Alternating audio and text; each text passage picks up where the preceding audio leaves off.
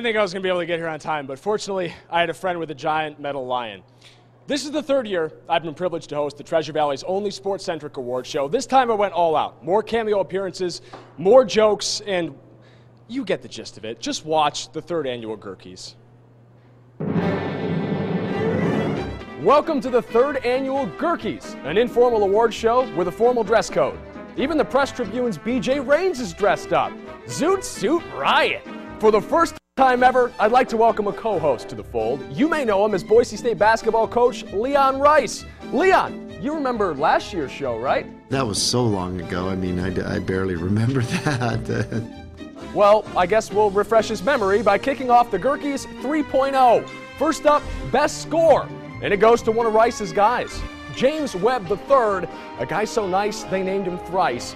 He wins it with a season full of dunks. I heard he jams more than a fish cover band. I think that's an excellent analogy. Next out of the chute, best visual effects. Nevada defensive lineman Brock Hekking's hair.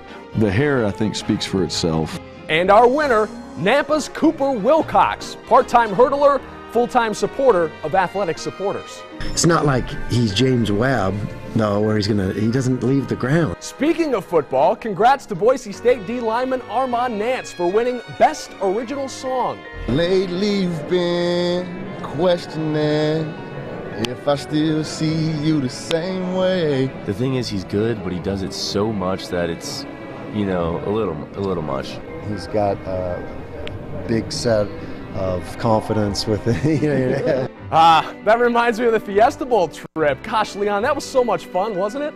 You know, I'm out on the road trying to talk to guys, and I felt like I was, you know, like a drug dealer trying to sell them something. They were looking at me like, get away from me. Uh, um, all right. Moving on, time to acknowledge our leading lady, the Best Actress Award. Special consideration went to this little girl who ran away from me at a Yote basketball game.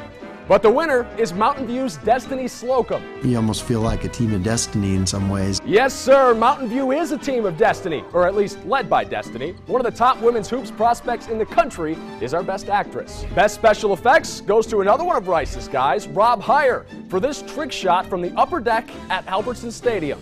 If we can get him open from the top of the stadium, I think he's going to make it. Our next award is my personal favorite, the Best Comedy Picture. The nominees are the member of the Bronco security team getting run over here in the tunnel, Derek Marks, who is obviously committing an OSHA violation for forgetting his non slip shoes, and this rowdy Reno fan who treated us all to a live episode of Cops after getting ejected from Mackay Stadium and being tackled by the police. And the winner is Marks for his rendition of the slow motion Scooby Doo run. This just in, I heard Leon has hurt himself laughing at that last category. Who told you that? Well, well, you said it. To whom? To me. That's a private conversation. Quit eavesdropping. You know what? I'm just going to do this on my own for a while.